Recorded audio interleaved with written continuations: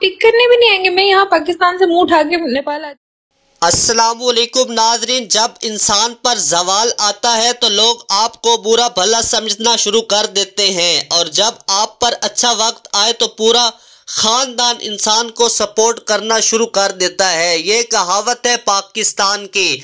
नाजिन आपको बताते चले कि पाकिस्तान की मशहूर मरूफ टिक टाकर डॉक्टर आलिया को भी इन हालात का सामना करना पड़ा है। आज की वीडियो में हम आपको नेपाली सिंगर सुरेश और पाकिस्तान की मशहूर मरूफ टिक टाकर डॉक्टर आलिया की ज़िंदगी के बारे में बताएँगे।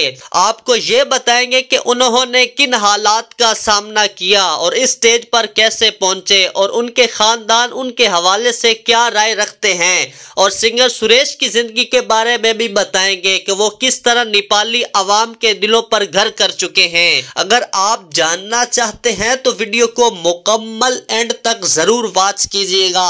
और वीडियो करते हैं शुरू। नाजीन अगर सिंगर सुरेश की डेट ऑफ़ बर्थ की बात की जाए तो 26 अप्रैल उन्नीस में नेपाल के छोटे से कस्बे में पैदा हुए। सिंगर सुरेश बचपन ही से ही टैलेंटेड थे और अपने स्कूल में उन्होंने अपना मकाम बना रखा था।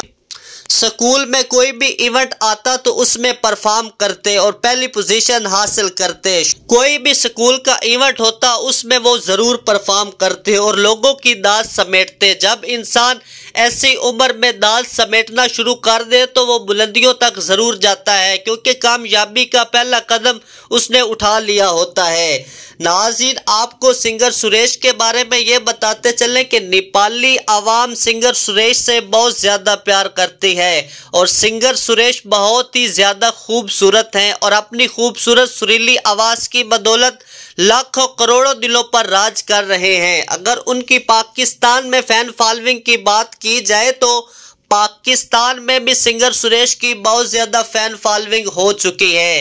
नाजिन, इसकी क्या वजह है? आज हम आपको ये बताएँगे कि इसकी वजह ये है कि पाकिस्तान की मशहूर मारूफ टिक टाकर डॉक्टर आलिया के साथ बिगो लाइफ पे बात करते हैं, जो कि पाकिस्तान की बातें नेपाली सिंगर के साथ शेयर करती हैं। नेपाली सिंगर सुरेश अपनी आवाम की बातें पाकिस्तानी टिकटॉकर डॉक्टर आलिया के साथ शेयर करते हैं। दूसरी तरफ़ डॉक्टर आलिया की बात की जाए तो वो पाकिस्तान की बहुत ही मशहूर मारूफ टिकटॉकर हैं। तीन करोड़ फॉलोअर रखने वाली टिकटॉकर हैं। अगर उनकी रिहायश की बात की जाए तो वो मुल्तान की रिहायशी हैं। नाजिन आपको बताते चले कि एक इंटरव्यू के दौरान आलिया की मामा से पूछा गया कि डॉक्टर आलिया नेपाल कब जा रही है, जिस पर डॉक्टर आलिया की मामा इमोशनल हो गई। एक इंटरव्यू के दौरान डॉक्टर आलिया से एंकर ने पूछा कि कब नेपाल जा रही हो। डॉक्टर आलिया ने कहा कि बहुत जल्द आपके लिए एक बहुत बड़ा सरप्राइज़ होगा। डॉक्टर आलिया को फ़िल्म और पाकिस्तानी ड्रामों में ऑफ़र की गई, लेकिन डॉक्टर आलिया ने इनकार कर दिया। नाजिन आपको बताते चले कि डॉक्टर आलिया यूरोप में शिफ्ट होना चाहती है,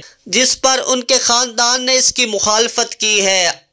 उनका खानदान उनको नेपाल जाने से भी नहीं रोक रहा, लेकिन यूरोप जाने से रोक रहा है। नाजीन पाकिस्तान में मशहूर होने के मेहनत और लगन से काम करना पड़ता है, तब जाके इंसान वायरल होता है। पाकिस्तान की ये मशहूर मरूफ टिक टिकटॉकर बहुत ही अच्छी टिक टिकटॉकर हैं और हमारे पाकिस्तान का नाम भी रोशन कर रही हैं। नाजीन, आप इस हवाले से क्या राय रखते हैं? अपनी राय कमेंट सेक्शन में। अगर आप सिंगर सुरेश या डॉक्टर आलिया के फ़ैन हैं तो नीचे कमेंट सेक्शन में अपना नाम ज़रूर मेंशन कीजिएगा। मिलते हैं एक नई वीडियो के साथ, तब तक के लिए